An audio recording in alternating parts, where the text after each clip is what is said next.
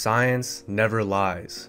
Researchers are able to set up experiments to see how certain variables affect the other. This is very important for dermatology because we're able to see how effective certain products and certain ingredients are. In this video, I'm going to be breaking down studies online to create the perfect science-based skincare routine. Before we actually create the skincare routine, we have to first define what a perfect skincare routine is. We must consider consistency, side effects, longevity, efficiency, and cost.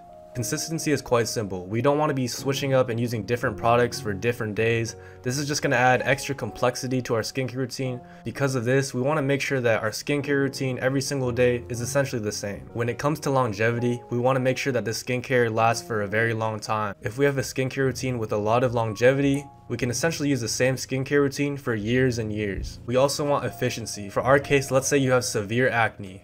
And so a very efficient skincare routine would be a skincare routine that gets rid of the acne as quick as possible. Along with this, we also want to minimize the amount of products that we're using in our skincare routine. Because of this, we're minimizing the cost of the skincare routine. So we're going to be trying to use as few products as possible and most importantly we want to make sure that we're minimizing any side effects. For this reason isotretinoin otherwise known as Accutane is not going to be used in this skincare routine due to all the side effects that it does have. Now before I bring up any studies, the situation for this video is that you're someone that has very severe acne and we're trying to get rid of the acne as quick as possible. Now one of the first things that people buy for a skincare routine is a facial cleanser and this is for good reason. Science has shown that cleansing is an important part of a skincare routine when it comes to getting rid of acne. However, the one issue of cleansing is that cleansing itself will not get rid of the acne.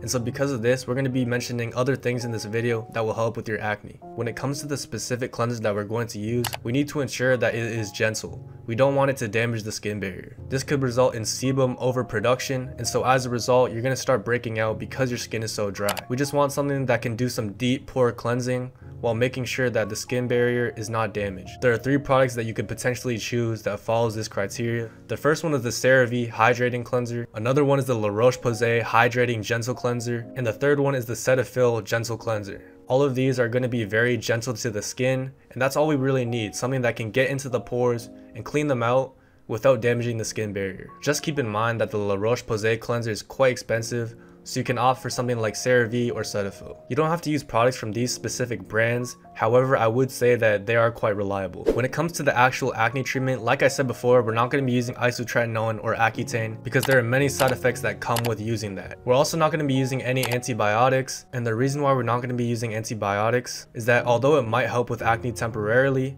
after you stop using them, the acne can come right back so it's not going to be solving the solution for the long term.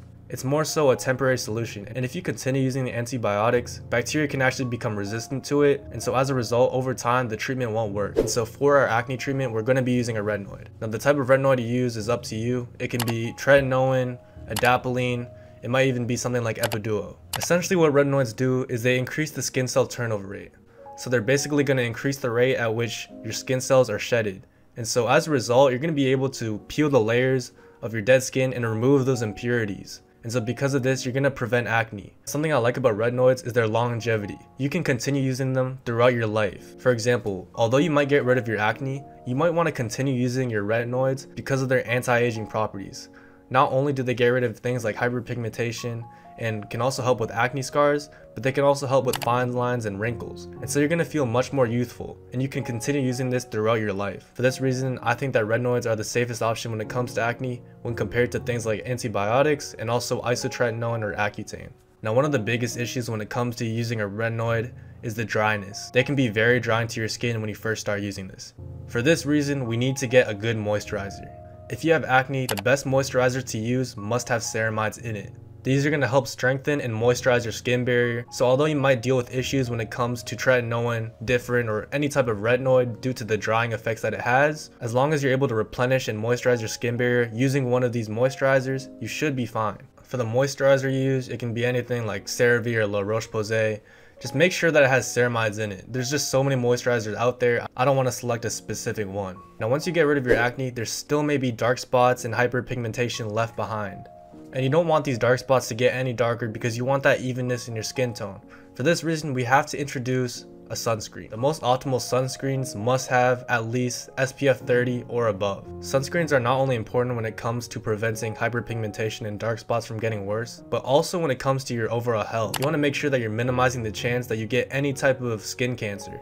Now sunscreens are very important and although you might use it every single day, it's still possible to get skin cancer.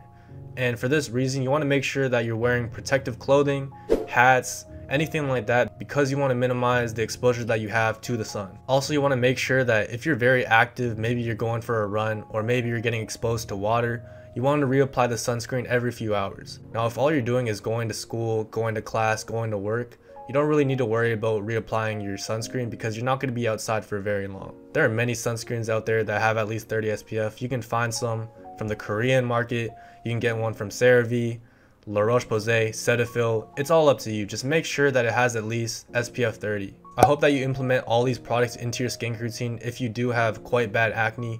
And honestly, you can continue using the skincare routine for many years to come because of the longevity that it has. Make sure y'all like, subscribe, and comment. DM me on Instagram, and peace.